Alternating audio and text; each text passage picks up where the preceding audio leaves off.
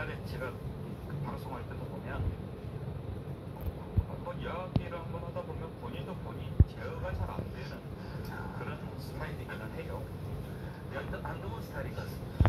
유시민 이렇게 딱 같이 앉아 있는데 앞날이 뻔히 보여서 내가 걱정이 많이 됐습니다.